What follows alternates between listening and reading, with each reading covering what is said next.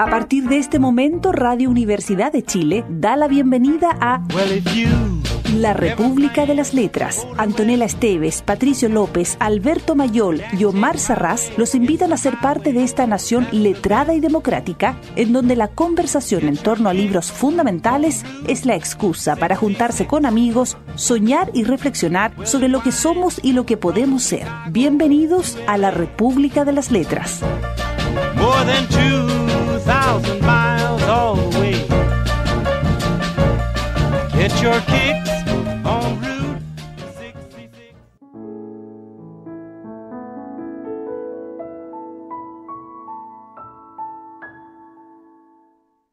Nordenfeld parece advertir mejor que nuestra existencia no se solapa con nuestra biología.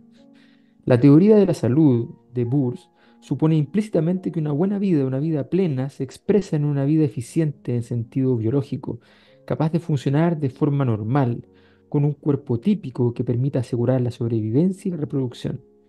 Pero, ¿quién puede asegurar eso? La visión de la salud de la comunidad de no, oyentes, por su parte, considera que precisamente en su desviación de la norma se funda la oportunidad de tener una buena vida, de ahí que rechacen tratamientos para combatir su sordera o la de sus hijos se sienten capaces de realizar sus proyectos y así obtienen plenitud. El animal enfermo busca sanar por medio de un construirse e idearse para ser pleno. Busca una buena vida que el animal sano no conoce y así llegamos a un aspecto fundamental. Debido a que existen diversas concepciones de la vida buena para el animal enfermo y que evidenciamos tanto a nivel individual como colectivo, coexisten del mismo modo concepciones igualmente diversas de comprender la salud. La tecnología médica nos muestra que distintas culturas defienden diversas comprensiones de la salud y la enfermedad. La salud puede ser vivenciada en sentido propio a raíz de las visiones del mundo y valores particulares de los propios pueblos. Animales enfermos de Diana Aurenque, esta noche en la República de las Letras. Ustedes leyendo en el maravilloso papel yo aquí sufriendo, leyendo el celular. Además, un poquito, lo, tienes un poco chico, Alberto. Lo tengo chico y además intervenido, porque si yo los muestro no se alcanza a ver, desgraciadamente, pero tiene además, así, la editorial puso entre medio ¿ah? una marca, no de agua, sino que de plomo. Agradezco a la editorial igual que me haya sí, por favor pero debo decir que hace difícil la lectura, la marca de plomo que va, que cruza la. Pero bueno, pero partamos, partamos por lo primero. Para mí, yo quiero decir simplemente partir diciendo que felicito a Diana Urenque por eh, la obra, por su trabajo de investigación que proviene de un, proyecto Fondesit, pero sobre todo por una cosa que para mí es importantísima. Primero, porque esto haya ocurrido en Chile, ¿ya? me parece sorprendente, visto lo visto, eh, discusiones del perro matapaco y cosas por el estilo, me parece formidable que en el mismo país pueda ocurrir este libro. No se, no se dice eh, eso de la Universidad de Chile. Ah, perdón, perdón. El perro, sí. el perro, el perro, sí. El, perro, aquel, puede decir el perro aquel. El perro, el perro aquel, diría Rafael. Entonces, eh, lo primero es eso. Lo segundo es que está muy mal visto por los colegas académicos, gente que habla de distintos autores, de distintas disciplinas, de distintas áreas, de distintas cosas, desde la medicina hasta, hasta la filosofía, eh, distintas corrientes filosóficas, en fin, porque está muy de moda la ignorancia eh, vestida de especialidad. Entonces, eso me parece también fantástico. Y me parece que este tipo de discusiones grandes, así que son de cualquier siglo, que se pueden hacer en cualquier momento, en cualquier momento de la historia, con distintos autores y qué sé yo, pero son estas discusiones grandes, en general también son mal vistas. Entonces tiene tres cosas que nadie hace porque encuentra que es fome, aburrido, difícil, complicado, que nadie le importa, por distintas razones. Eh, tres gracias eh, muy, muy grandes para empezar a hablar. Además el libro es bueno, pero, pero parto por, por hacer una reivindicación que como, eh, como académico y como alguien que le encanta leer cosas que tengan alguna clase de jueguito intelectual interesante, alguna búsqueda atractiva, eh, yo parto por felicitar a la autora. Muy bien. Buenas noches. Pero, Buenas noches. pero saluda, po. O sea, ni que hubiéramos estado conversando hace un rato. Hola, niños, ¿cómo estás? Bienvenidos a la República Francesa. Y así llevamos tío 14 Marcelo. años. El tío Marcelo los saluda. Es que nuestra relación ha tenido un desgaste, ya, ya ni nos saludamos. Ahí nos saludamos.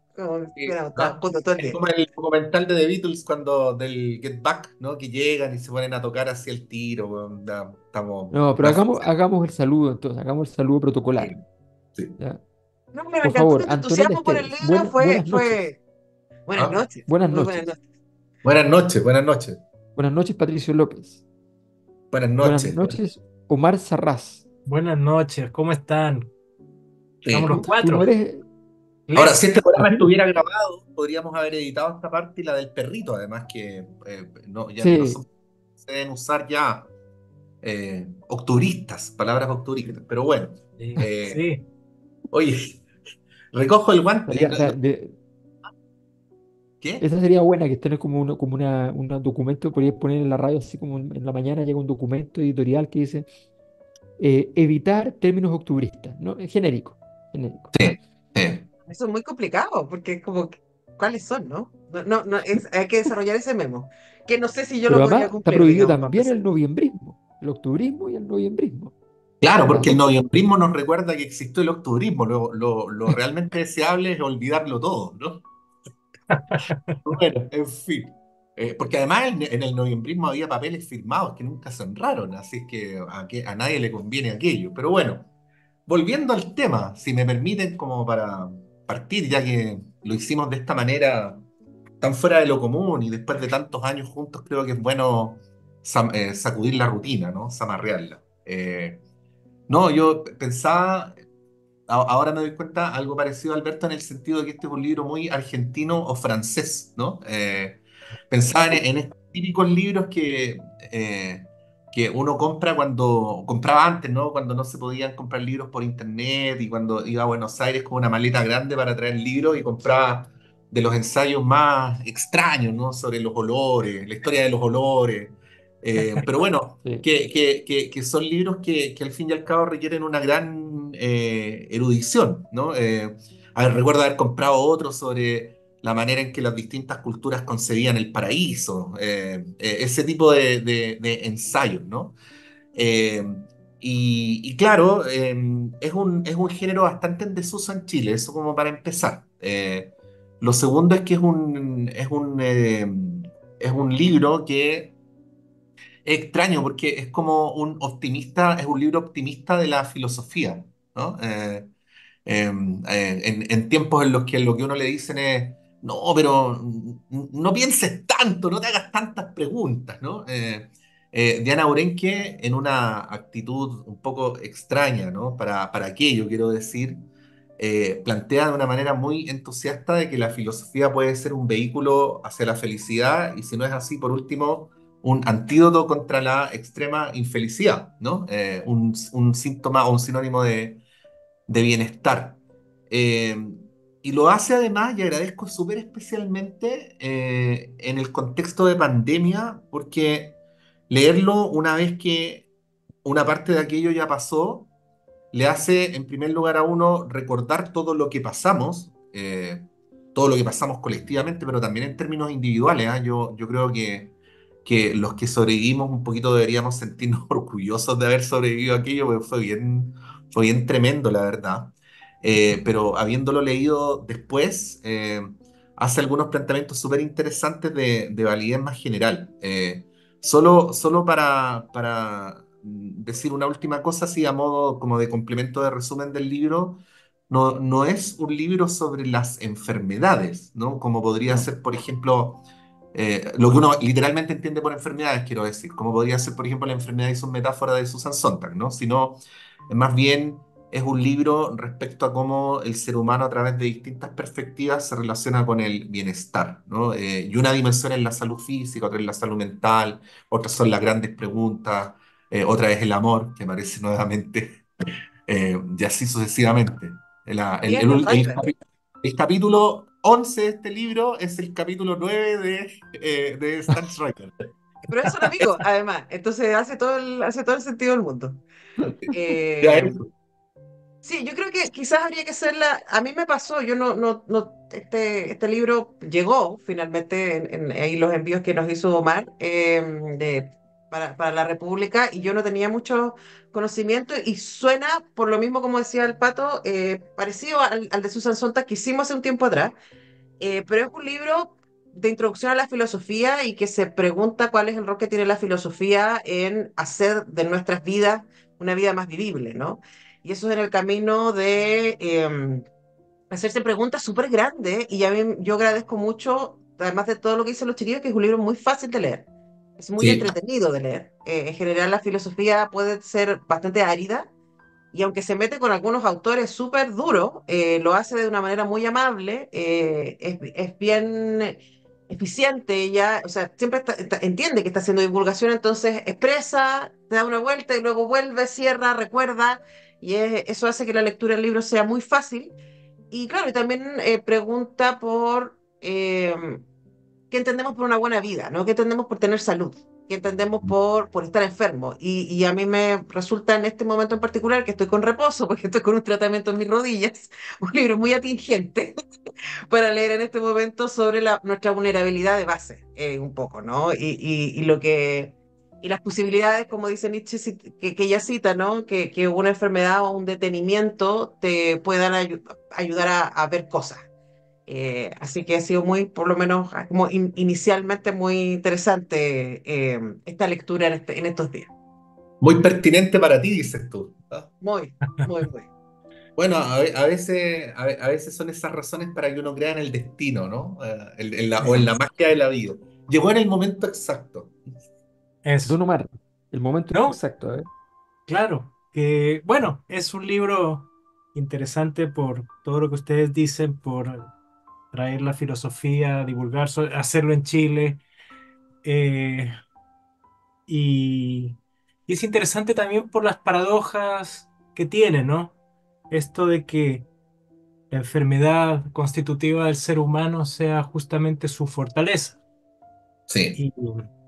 Y, eso es eh, algo que se ve aquí con algunos filósofos, con el, comparándolo con la medicina, hablando de una vieja metáfora que habla de la, de la filosofía como una arte médica para el alma. Siempre la medicina fue un modelo para la filosofía antigua en, muchos aspectos. Y bueno, está hecho de una manera interesante, siguiendo mucho a Nietzsche, a Unamuno, a, mm. a varios autores, a Gadamer, a Canguilhem, que... Schopenhauer.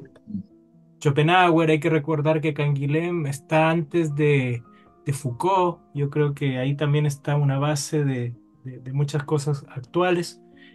Y bueno, eh, a mí me recordó un libro que había leído hace más de 30 años en, la universidad que se llama Hombre y Evolución de John Lewis, donde él justamente dice que por no ser los seres humanos no estar perfectamente adaptados a un medio, a un medio específico, a un, a un eh, medio ambiente específico, si ese medio cambia, nosotros no nos extinguimos. En cambio, los, las, especies que están mejor adaptadas eh, no pueden sobrevivir a esos cambios. Entonces, nuestra debilidad, nuestra fortaleza, porque tenemos que compensarlo. Y aquí habla Orenque de eh, la razón como algo compensatorio, habla de una cosa muy interesante que es en contra de toda una tradición filosófica que es la más extensa en el tiempo, que desprecia el cuerpo, habla de que somos cuerpo, no es que tengamos cuerpo, sino que somos cuerpo, que el cuerpo sabe, que el cuerpo piensa, que, que la razón es una pequeña razón y que es compensatoria, es decir, que el, el gran unificador de todas nuestras experiencias, lo que nos sitúa en el mundo, es justamente el cuerpo que nos da una afuera, una adentro, una relación, una serie de cosas. Entonces, esa reivindicación que ella eh, encuentra en Nietzsche del cuerpo es muy interesante y esto de que siempre el ser humano es sentido y que nosotros le damos sentido a las cosas y que por eso hay varias saludes, porque si uno asume su cuerpo con sus limitaciones y sus virtudes, puede darle un sentido de acuerdo con el proyecto existencial que cada uno elige. Entonces hay muchas cosas. Aquí, está lo biológico, está lo ético, está la, libertad, las elecciones, una serie de cosas muy interesantes. Y yo quisiera, antes de dejar de hablar ahora, que se recuerde un, un documental muy interesante que fue justo de los años 60, antes de Cosmos de Carl Sagan, que se llama El ascenso del hombre de, de un científico polaco, Bronowski, que lo hizo con la BBC. El ascenso del hombre, donde habla de todas estas cosas, de cómo se fue conquistando la especie humana un lugar y fue sobreviviendo y superándose, que tiene mucho que ver con, lo evolutivo y lo, y lo carente y, y, la lucha, lo agonal, la enfermedad, la enfermedad como algo que fortalece los cuerpos, de lo que habla eh, Diana Urenque. Así que interesante lectura para empezar. No, tremendo, tremendo. No, no fuiste, no citaste una, una, serie un, poco, un poco antigua, pero está bien, está bien, está bien. Hora de la música. Ahí sí que estamos. ¿Quién sigue con la música? Patricio López. ¿Puedo? Ah, sí. ¿Sí? Adelante. Dele. Tanto me está apuntando para allá, pero yo no estoy. Es que en mi, Zoom, yo te apunto. Y como mi Zoom es el que graba, yo te digo problema. el, problema de Zoom es terrible. Sí. No, mira, me acordé de esta letra que dice: No sé tú, pero yo te he comenzado a extrañar. En mi almohada no te dejo de pensar. Con la gente, mis amigos y las calles sin testigos. No sé tú, pero yo te busco en cada amanecer. Mis deseos no los puedo contener y en las noches cuando duermo sin insomnio, yo me enfermo. Me hace falta, mucha falta, no sé tú. Pero como... Capítulo 11. Capítulo 11, obvio. Y como, y, bueno, y como, y como bien nos enseñó García Márquez, cosa que siempre nos recuerda Alberto, que hay que volver al autor. Eh, no vamos a ir por donde Luis Miguel, sino que nos vamos a ir a, a la estación original que es Armando Manzanero, por supuesto. Por supuesto. Maravilloso.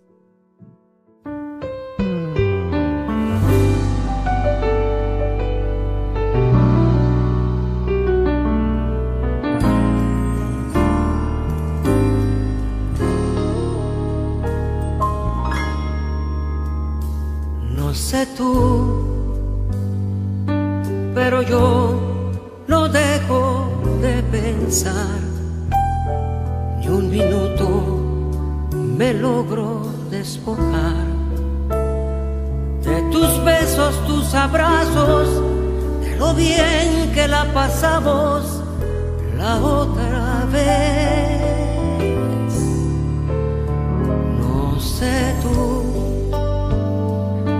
pero yo quisiera repetir cansancio que me hiciste sentir, con la noche que me diste y el momento que con besos construiste.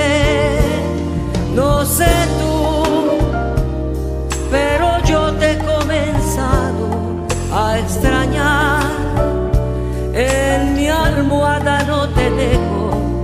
pensar las gentes, mis amigos, en las calles, sin testigos. No sé tú, pero yo te busco en cada amanecer. Mis deseos no los logro contener. En las noches cuando duermo, si de insomnio. Yo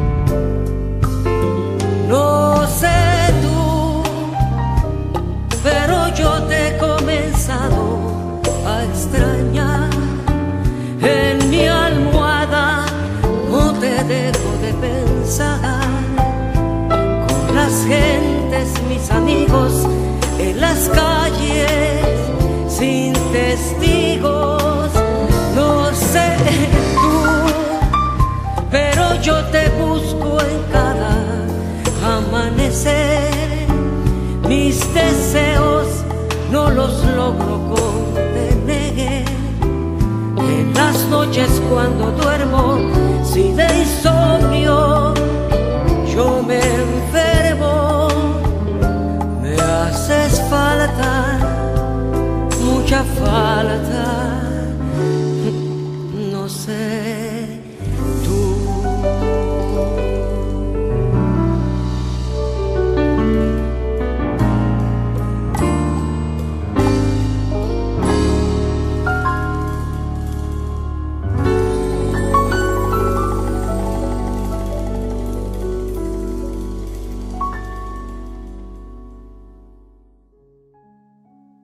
La enfermedad en ese sentido puede ser ocasión para robustecer y afirmar la vida. Raramente se produce una degeneración, una mutilación, incluso un vicio y en general una pérdida física o moral sin que resulte alguna ventaja en alguna parte. Estaba citando a Nietzsche. Quizás en todo esto, en la aceptación de la vulnerabilidad que somos, en vez de los aparatajes culturales y técnicos que generamos, podemos encontrar una nueva salud y así incluso una nueva felicidad. En la medida de que el dolor no sea agudo, la enfermedad permite interrumpir la vida en sus ajetreos cotidianos y de algún modo también nos proporciona tiempo para el ocio. En el aforismo sobre el valor de la enfermedad en humano demasiado humano, Nietzsche nos dice, la persona que yace en la cama enferma puede en cierto momento darse cuenta de que suele estar enferma a causa de su empleo, de sus negocios o de sus relaciones sociales y que por su causa ha perdido todo discernimiento sobre sí misma. Ella consigue esta sabiduría gracias al ocio al que le obliga la enfermedad. El dolor y la enfermedad tienen, por tanto, una función profundizadora, pero además se muestra como una de aprendizaje. Una ocasión de aprendizaje.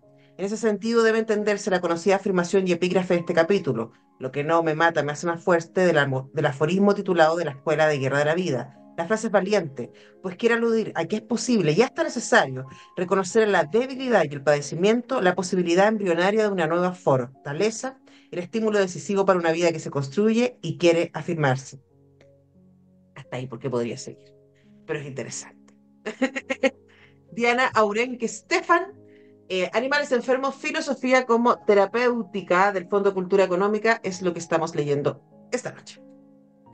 Oye, hay una, hay una parte, compañera, no me acuerdo ya si es el mismo capítulo, eh, que es el capítulo 5, Terapia, Sentido y Sufrimiento. Eh, ¿De ese mismo es lo que tú leíste? Sí. Sí, sí que es bien interesante porque plantea, entre otras cosas, que, que, el problema de la felicidad tiene que ver con un problema de expectativa, ¿no? Mm. Eh, y que una de las cosas que uno puede aprender, lo plantea ella, pero citando algunos autores, eh, que el problema de la felicidad radica en que las personas tienen mucho deseo de ser, de ser felices, ¿no? Eh, y como la realidad nunca termina por calzar con ese ideal, eh, sume a las personas, quiero decir a ustedes, no a mí, por cierto, a ustedes, eh, eh, la, sume, la, sume en, una, en una desolación de no, poder, de no poder hacer cumplir los sueños, ¿no? Entonces, por ejemplo, hay un párrafo que quizás más adelante lo puedo leer, donde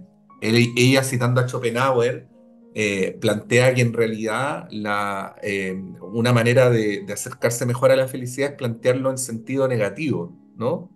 En eh, tener la expectativa, por ejemplo, de no ser infeliz, ¿no? Eh, y que al tener esa expectativa, bueno, la vida te va dando maravillosas sorpresas que pueden ir por encima de lo que originalmente habías calculado. Eh, es una, fue una parte que me pareció muy interesante, pero además tiene relación con, la, con los acercamientos que uno tiene con la vida en términos de la ansiedad, la histeria y otros por el estilo, que está que está súper bien planteado, muy, muy documentado, como decía Alberto, además en el primer, el primer bloque. Mm. Fíjate que voy a hacer unos comentarios súper nada que ver con el libro, ¿eh? perdona, pero lo que pasa es que me hizo pensar la inflexión de la voz de Patricio, el pequeño detalle de la inflexión de la voz, lo que puede producir. A mí me ha pasado en la vida que he transformado una frase exitosa en una reunión en un problema por una forma de inflexión ni siquiera del todo descuidada, sino que un pequeño detalle. Él dice, ella citando a Schopenhauer, pero lo hizo de manera tal que sonó un, poco diciendo así como ella, citando a Schopenhauer. ¿no? ella. O como ella, citando a Schopenhauer. ella, la, ella la que cita a Schopenhauer. Ahora, ella cita a mucha gente y lo cita muy bien. Hay que, hay que decir que, eh, como, o sea, como yo celebro, porque cuando me acuerdo que cuando cursé el magíster, yo tenía serios problemas con mi queridísimo profesor de, mm, de, título, a quien le mando siempre un beso porque adoro, amamos a Sergio Rojas. Y yo siempre peleaba con él porque, ¿en serio necesitan los filósofos escribir tan difícil? ¿En serio? Esa es mi pregunta constante. Y Sergio es de uno de los que escribe. Que era seguidor de Heidegger. Sí, bueno, de hecho, Sergio es de los que escribe muy en difícil. Muy difícil. Eh, y, teníamos largas conversaciones sobre esto, eh, y él me decía que, bueno, que parte del ejercicio, y yo entiendo que es así, no, por supuesto sería incapaz de criticarlo, parte del ejercicio filosófico tiene que ver con el juego del lenguaje. Y, y yo creo que una de las cosas interesantes a propósito de la cantidad de citas es que ella habla de ellos y también los corta pega, ¿no? Entonces tenemos el, el, acceso a las distintas voces que aparecen, de ellos y ellas también, porque por ahí aparece Ana Arendt, entre otras. Eh, y me pero ella está todo el rato tratando de ah, juntar esta polifonía y que nadie se pierda, ¿no? En estas distintas visiones. Eh, y eso, eso se agradece. Y a propósito de lo que decía el pato también respecto a, a, que una manera de ser feliz es, tratar de distanciarse de la infelicidad, también e, ella pone, que pone ese ejercicio sobre la salud, ¿no? ¿Qué entendemos por salud? Si salud es básicamente no estar enfermo. Eh, pero también hay preguntas interesantes que instala acá como si eso significa no tener síntomas, porque uno puede ser alguien que está enfermo sin síntomas. Eh, eso. Y hay un tremendo, tremendo tema, ¿no? Eh, o también como otros filósofos y otras filosofías y, como visiones proponen ser eh, saludable es alguien que mantiene lejos al doctor, que no, que no necesita ayuda, que es independiente. y me parece que es súper interesante la, la propuesta que, que, nos acerca, ¿cierto?, con respecto a la dietética, mm. no a la dieta, sino como a pensarse una vida coherente con uno mismo, a partir del conocimiento con uno mismo, que le acerque a lugares de bienestar, ni siquiera de felicidad. Y ahí me parece que hay un montón que hablar. Eso, eso, porque ahí justamente está esto que dice de que, creo que citando a Gadamer, que la salud es el silencio del cuerpo, la salud no se puede identificar por sí misma, la salud es una ausencia de enfermedad, de dolor. Bueno, ya lo decía Epicuro, la ausencia de dolor ya es placer. Por eso mismo lo dice Schopenhauer, las tres cuartas partes de la felicidad son la salud. Y sin salud poco se puede hacer. Y esto también lleva a otro problema, que es que como decía un amigo, mientras más avanza la medicina, más enfermos estamos. Y ahí habla justamente de la medicina preventiva, donde uno sin síntomas, sin nada, puede enfermar antes de tiempo, descubrir ciertas cosas que podrían llegar a ser una enfermedad. Y el problema de la fetichización de la salud, que lo trata también el principio del libro, donde habla de, que justamente la teología, lo, lo, lo sagrado, la religión, se ven desplazadas por una sacralización de la salud, donde hay gente que mantiene la salud por la salud misma, ¿no? Como alguien decía, usted no vive, usted dura. O sea, alguien que no come esto, que no ah, tiene estas cosas, que simplemente se preocupa todo el tiempo de la salud, no vive, sino que trata de durar. Entonces, esta fetichización de la salud, que también está tan presente, ¿no? Que hace, uno ve gente Está bien ir al gimnasio, supongo, pero esa cosa de hacer gratuitamente, permanentemente una ejercitación eh, un poco obsesiva, depende de cómo uno la tome, pero ver tanta gente que va al gimnasio en vez de caminar, no sé, es, es un poco eh, extraño. Bueno, sí, yo, quiero, quiero referir a una cosa que dijo Antonella, que es el tema de las citas bien puestas. Es muy difícil organizar distintos autores, citas, y que efectivamente queden bien puestas y que queden livianas. Muy, muy complicado. Eh, y en filosofía es más complicado. Yo me acuerdo que con unos compañeros tomamos un electivo sobre Nietzsche en filosofía, solo estábamos en, sociales, y, pero el, era los miércoles y los viernes a las ocho y media de la mañana. Horario impropio para la gente de estas disciplinas. Y, Tanto amor por Nietzsche. Entonces, claro, el curso de Nietzsche a las ocho y media de la mañana. Y llegábamos y habían, no sé, inscrito, era un electivo, entonces habían cuatro estudiantes más nosotros dos, que éramos yo con mi amigo. Eh, entonces, y, el, y, claro, la importancia de la cita era tal que la clase entera era un párrafo. Un párrafo. Claro. Explicando cada, cada término en términos eh, de, poder entender qué era lo que estaba detrás de ese escrito. Y, ese, y esa preocupación es la que recorre y obsesiona a los filósofos habitualmente. Ahora, yo creo que el, juego súper interesante es eh, la salud como obsesión de un animal que, se, parte de la premisa de su enfermedad. Mm.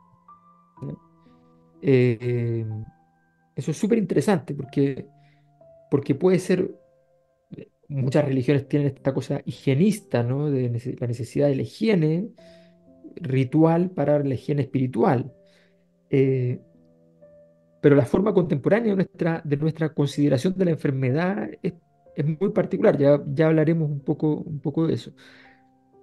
Ahora, para, para mí, el, una de las cosas que, a mí me, encanta de, todo esto es el, rol de la enfermedad en, la sociedad. como cómo en la sociedad la enfermedad te da una excusa o te da un rol. Está súper visto que en, aquellos momentos donde las personas, en sociedades donde está todo destruido, devastado, comunidades donde no hay nada, cuando tú no tienes ningún rol que cumplir, la enfermedad te otorga un rol, que probablemente sea el rol, en, este, en el caso de nuestra sociedad actual, de la depresión. Eh, la posibilidad de ser, tener algo, tener algo es estar deprimido. Eh, y finalmente, a mí el tema de los valores me fascina, porque lo he investigado hace muchísimo tiempo. Eh, llevo, no sé, 20, 20 años justo ya trabajando ese, ese tema. Eh, es el tema que más he trabajado en realidad, más que los otros temas que, que soy más conocido en esos temas. Y dentro de eso, a mí una cosa que, que comprendí al investigar los valores es que eh, en general a los valores se les mira como una cosa así como de significado nada más. Eh, eh, cuando existía la famosa discusión antiguamente entre de la luz, ¿no? si era onda o partícula. Entonces, uno decía onda y otro decía partícula. Y en respecto a, los fenómenos sociales, como que están los valores o la, dimensión simbólica por un lado, y por otro lado la dimensión productiva. Mm. Pero cuando yo investigué los valores, estudié varios casos a nivel de, histórico, eh, y me daba cuenta de que en realidad la teoría onda-partícula, ambas valen, porque en realidad en el valor, adentro de los valores, van metidos los intereses de la sociedad. Se meten dentro de ciertos valores. Avanzan, por, por eso el, el perro matamaco importa, porque es absurdo, pero en realidad se metió adentro otro interés que, no lo, que lo hace pertinente y lo hace poderoso más que pertinente. Entonces, entonces en el fondo, esa, esa, esa complejidad hace que este tipo de discusiones, yo, yo he leído textos de los años 60 de, sociólogos que dicen, bien, vendrá en los próximos décadas, vendrá una obsesión alimenticia, por ejemplo. Es evidente que vendrá una obsesión alimenticia.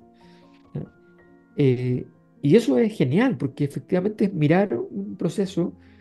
Detrás del tema de los alimentos no está realmente la salud, están los valores, está, el, valor que, tú estás construyendo. Entonces, creo que esa discusión, lograr abrirla a nivel intelectual, no digo que, ocurra en cada plaza de nuestro país, pero a nivel intelectual me parece, me parece fascinante.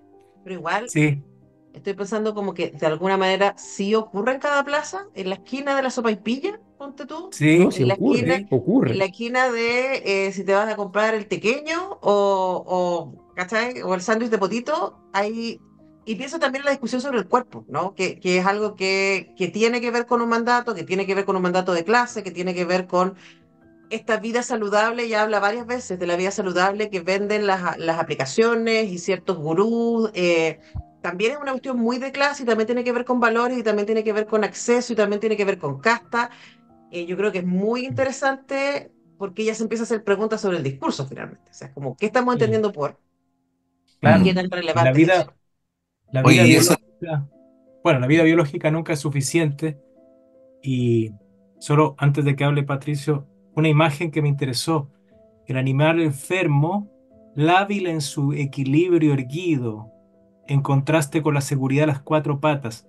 O sea, el ser humano ha elegido el equilibrio precario de, de ser un animal bípedo y no estar en la comodidad de la seguridad de sus cuatro patas. Y ese, eso, eso también habla mucho de, de que la vida por sí misma no, no basta, porque si no, sería preferible estar a cuatro patas en esa seguridad, en esa estabilidad, que, que no, nos, no, no, nos compensa lo suficiente. Sé, muy bien, sé muy bien de qué estás hablando. Eh, hoy, día, hoy día Federico, el, más chico mío, me dijo, ¿por qué caminamos? ¿Cómo por qué caminamos? ¿Por qué caminamos? Y no, no, le dije, no te entiendo, Fede, duérmete. no caminamos hasta ahora, duérmete. Pato, ¿querías decir algo? Vamos con, con mi tema, tengo un tema hermoso. No, no, quería decir, lo, lo, voy a decir solo como enunciado, un tema que igual no vamos a hablar porque no vamos a tener tiempo, pero y eso que no hemos dicho nada sobre todo el, todo el discurso oficial, por decirlo de una manera bien simplificada, sobre la salud como mecanismo de control social, porque, o sea, sobre eso no solamente se genera un mercado, sino también se genera eventualmente un estado policial eh, y otras cosas por el estilo. O sea, en la pandemia lo vimos, eh, por poner un ejemplo, la georreferenciación de los teléfonos, eh, el, tema del, del, control de los rostros en las cámaras en las calles y en los aeropuertos, que claro, en principio te los presentan como un mecanismo para impedir que un virus se propague, eh, pero también se puede utilizar para impedir que ciertas ideas o movimientos, que no necesariamente están contra la ley, pero sí contra el poder, eh, se diseminen. Había una idea bien apocalíptica que, en nuestra tecnología no, no, resultó ser posible, pero leí que, que en Japón había llegado a tal punto que había unos drones que identificaban caras de personas así y ¡pum! que eran eventualmente sospechosos y los, pum, los identificaban, ¿no? Así como, como cuando, como cuando en dictadura aterrizaban los helicópteros con los focos, ¿no? Eh, y esto por el bien superior de la salud. El estado terapéutico, que es un problema, el estado terapéutico. Mm. Sí, mira, eh, se habrán dado cuenta que estamos particularmente desordenados en, en, nuestra conversación esta noche porque el libro da para un montón. Entonces, como que cada uno está como tomando los puntos y la canción que yo voy a poner es como que tiene que ver y no tiene que ver con lo que estábamos hablando, tiene que ver con el inicio del libro y con el final del libro también, eh, y con esta mm, idea de que, que, yo creo que cruza el libro, que es la filosofía como herramienta de bienestar, si uno lo quiere poner ahí, ¿no? Eh, asumiendo que somos animales frágiles y vulnerables y que no somos solo cuerpo y no somos solo cabeza, sino que somos body and soul. Así que eso vamos a ir a escuchar ahora en la versión de Esperanza Spalding. Buena. Vamos.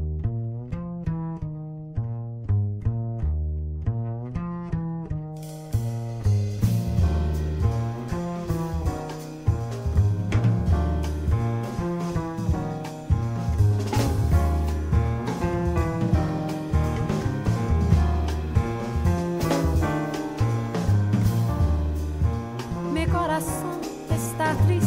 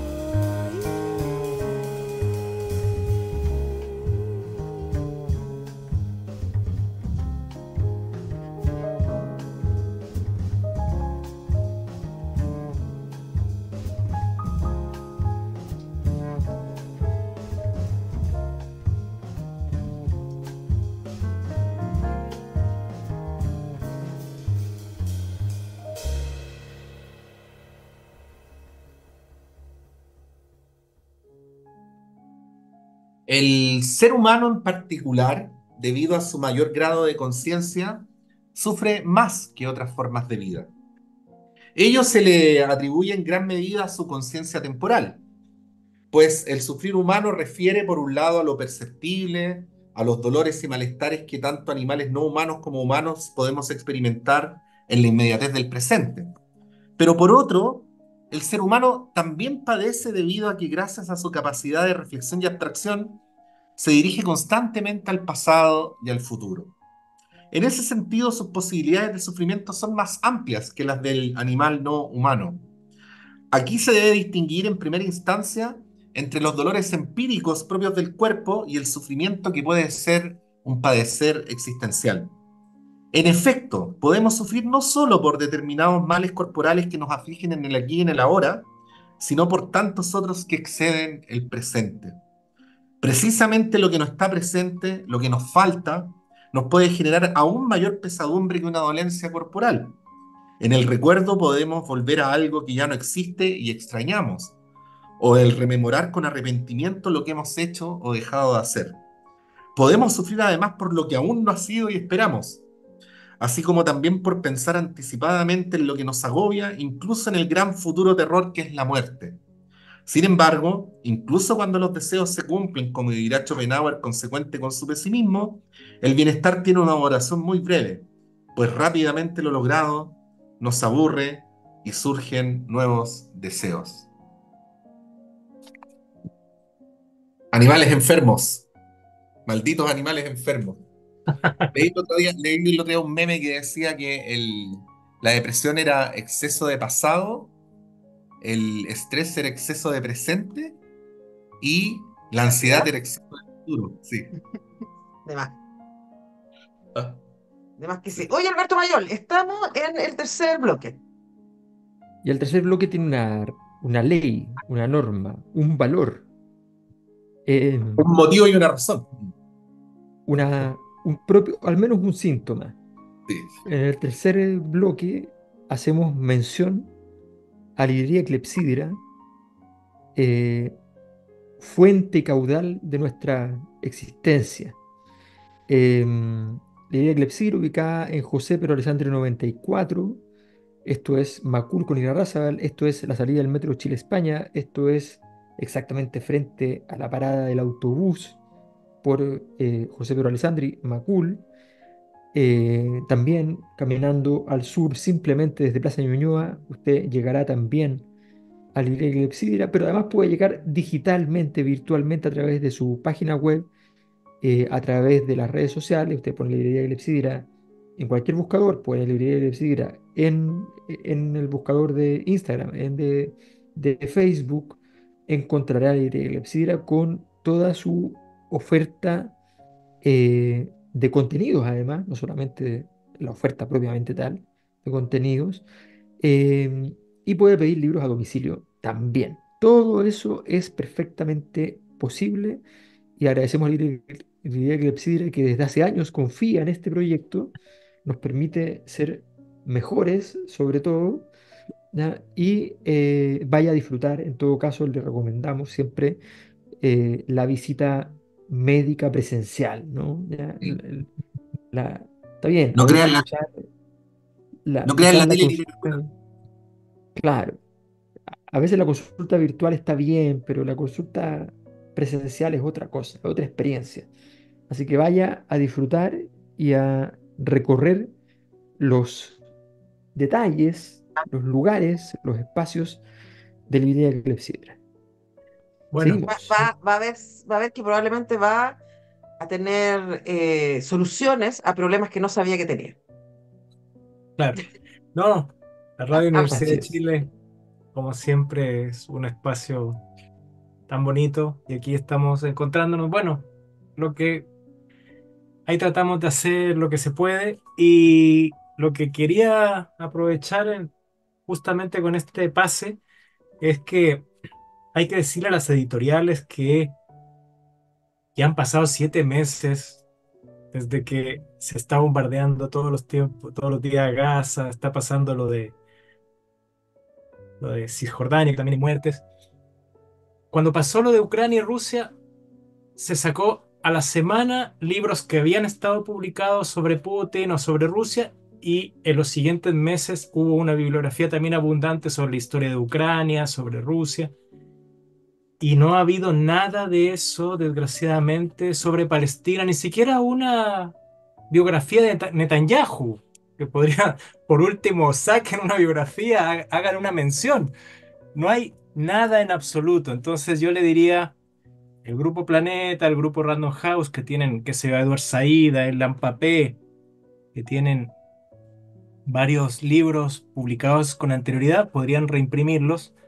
Y en general todas las editoriales, si algo ha, sacado ha sido, por ejemplo, Seibo, que ha sacado un par de libros sobre Palestina, uno de Pablo Jofré, dos de Pablo Jofré, otro de, de otro autor eh, sobre, se llama La barbarie de los civilizados, pero en general hay poca bibliografía y la gente lo pide. Así que las editoriales deberían darse cuenta de la ocasión y sacar libros sobre lo que está pasando. Justo estoy leyendo, no lo tengo acá, estoy en la radio en este momento, no lo tengo acá, pero, pero justo estoy leyendo. la noche en la radio. Para que veas tú, para que veas tú. Nivel de compromiso del jefe. Sí, sí. Soy un animal enfermo.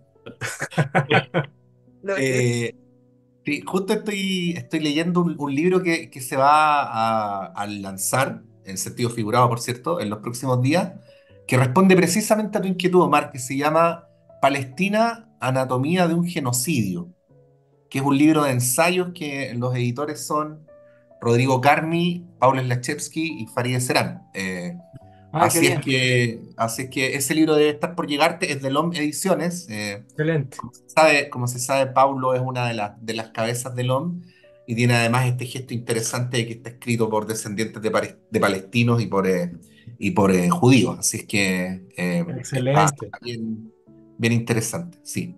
Oye, eh, yo, publico en, un mes más un libro sobre mi ley, que es como también parte del conflicto, así que. Muy bien. Oye, quiero leer eso, ¿en serio? ¿En serio? Sí. Muy bien. ¿Y por, por Cataluña? En Chile, Cataluña, sí.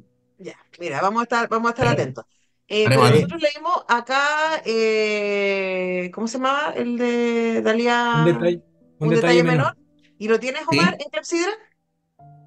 Mire, lamentablemente, los que importaban eso eh, se les terminó y estaban viendo si lo volvían a traer. No ha estado últimamente. Tremendo libro, tremendo, tremendo libro. Oye, antes de que se nos vaya el programa, nos quedan dos minutos, pero Paul Oster. yo estuve revisando, hicimos, no sé si está entre los programas perdidos, pero sí está eh, fantasmas, está entre mis libros perdidos, porque sé que lo leí, estoy ahí en el programa, pero no sé dónde está el libro y está Leviatán, eh, que hicimos, y eh, vamos a hacer por esto la próxima semana. Perfecto. Sí. sí. Bueno, Descontexto está por sacar, según me dijeron de, la distribuidora Big Sur, un libro de poesía palestina contemporánea que puede ser interesante. Yo vi algunas cosas que están en la página de la editorial Descontexto, que es de Chile, y hay varios poetas traducidos por, por autores nacionales, por, por personas acá en Chile, que, que también puede ser de interés. Ok. Fabuloso. Así que vamos a estar atentos. Pero, próxima semana, entonces, ¿cuál, cuál libro de Paul vamos a ¿Cómo se llama? Voy a buscarlo si quieres, y lo muestro en la portada. que pueden hablar mientras tanto. Ah, Baumgartner, sí. Ah, el último, el último, el último antes de morir. Exactamente, Baumgartner. Excelente. Vamos, una, tiene un modesto homenaje a Paul Auster, así que. Claro. Pues, Ahora, sí. Ahí está, Baumgartner, de Paul Auster. Eh, va a ser el. Vamos a continuar la polémica de quién es mejor, el marido o la mujer. Claro. Es necesario, ni ellos entran en esa polémica. O sea, ustedes saben que yo soy ultra fan de Siri Hasbeth. Pero... pero ¿cómo no van a competir? Pero por Dios. Tú pones a, dos niños con dos, con dos resbalines y a competir. ¿Qué vas a hacer? ¿Qué vas a hacer? ya lo dijo Adam Smith, solo pueden competir. Pero es que, no son dos hombres, Ah. Bueno, sí, pues, somos la mitad del mundo, ya está. Nada que hacer. porque las mujeres no, no, no, necesitamos competir todo el tiempo. No, si cuando andan por la calle. Yo, yo, creo, yo creo que no. pero no, yo no he visto nunca competir a una mujer, nunca, nunca. nunca. No, no dije que no lo hiciéramos, dije que no necesitábamos hacerlo todo el tiempo, no es lo mismo. Alberto, Tú no has visto nunca, nunca has visto competir a una mujer porque siempre ganan. No, yo. Yo creo que es el momento de dar por finalizada esta sesión. ¿ah? Estamos por para la próxima semana. Felicitamos a Diana Urenque por este estupendo libro, lo dejamos muy, muy recomendado. Nos dispersamos porque está, hay muchas ideas muy interesantes en eh, animales enfermos. ¿Puedo, ¿puedo completar la dispersión? ¿Puedo completar la dispersión con un tema nada que ver para irnos? Por supuesto. Sí. Goodbye Blue Sky de Pink Floyd. Más tema. ya nos vamos con eso. La próxima semana por los Que estén muy bien. Buenas noches. Adiós.